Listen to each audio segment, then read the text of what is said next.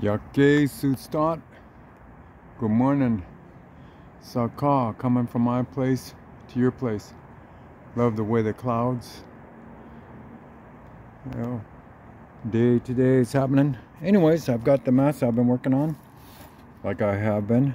There's that one that I'm hollowed out. Still pretty wet because I soak it, you know. This is another one that I'm working on. So I did a lot of hollowing out yesterday Got a lot more to do today, but today is going to be a um, mm, pumpkin patch day. So anyhow, I might take these along with me and go to the pumpkin patch and if I see an opportunity to catch a nice cool video while we're out doing that as a family event, then I'll definitely do that. So, but coming to you from my place to yours. All right, have a great day. Uh, Family Day. All right, cool.